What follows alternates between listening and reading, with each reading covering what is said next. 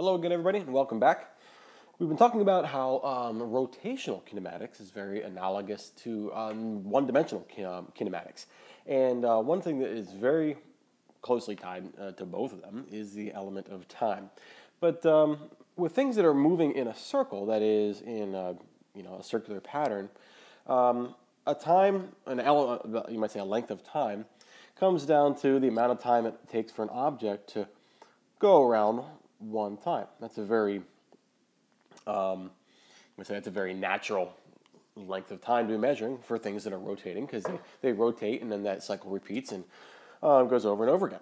So that amount of time that takes for an object to rotate once, we call that the period. Um, it's still called t, capital T, um, but a, the, a period is um, the amount of time it takes for a repeating process to go over and over and over again, very much like a circle. So the amount of time it takes for um, an object on the edge of a circle to rotate once, we would call it its period.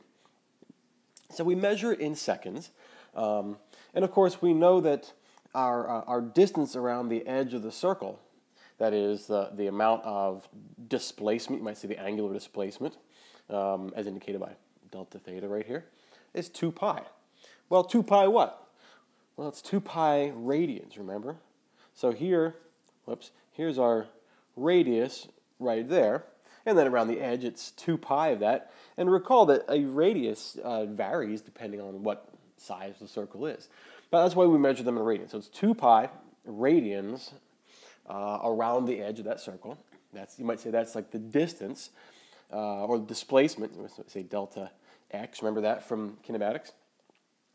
And of course, t is time, and if, if our angular velocity, or you might say our average angular velocity, is uh, angular displacement over the amount of time, then we would say that time is going to be our angular displacement, and this a whole revolution, 2 pi radians, divided by our angular velocity, omega right there. So before we would say, well, time would be delta x over velocity.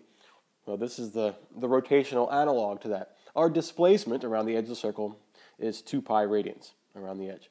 Divide that by our angular velocity, the number of um, radians per second, and then we have the amount of seconds it takes to go 2 pi radians around the edge of that circle. All right, so an example. Example 10.3. We want to find the period of a record that is rotating at 45 RPM.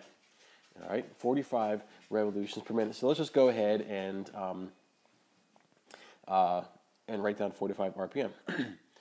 so we're starting with that, and this is really again just sort of a um, uh, uh, unit vector problem. RPM, of course, means revolutions per minute. All right, and we want to turn that into uh, a certain amount of time. Okay, well that 45 revolutions per minute that's an angular velocity. But what we want to do, instead of having it be in revolutions per minute, we want to turn that into what? Well, we'll turn it into radians per second, right? Radians per second. And then we can take that and turn that into a certain amount of time. So let's convert revolutions per minute to radians per second.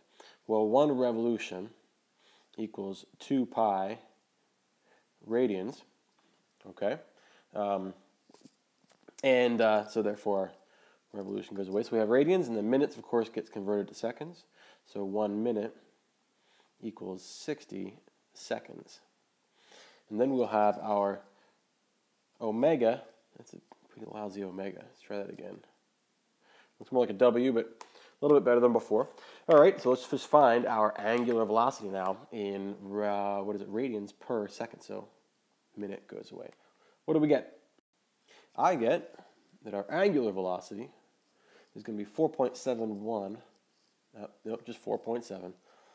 Try to stay true to sig, sig figs here. 7 uh, radians per second. That is our angular velocity, our omega. We originally had it in revolutions per minute, but we want to convert that into radians per second. Okay, well, we want to find the time. And the time comes from having an angular velocity in radians per second. Well, recall that time in uh, kinematics was displacement over velocity. Well, time, or in this case t, is going to be our delta theta over our angular velocity. All right. Well, our time or our period, it's a period for what? So the period for the object to go around one time, and that is be displaced um, all the way around. So how many radians has it been displaced? It'll be 2 pi radians, right? All the way around the edge.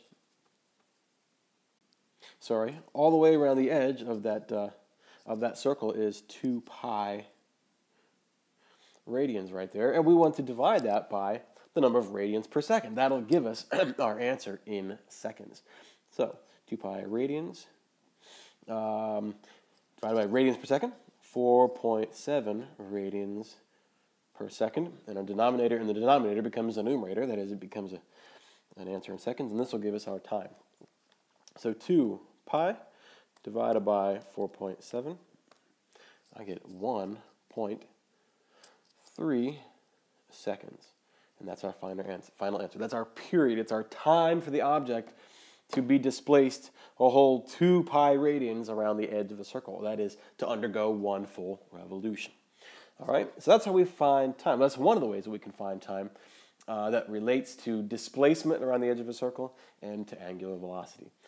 So there you have it. That's time. That's going to be the, it for this segment. Thanks for following along. Please make sure you ask me if you have any questions, and I'll see you on the next one.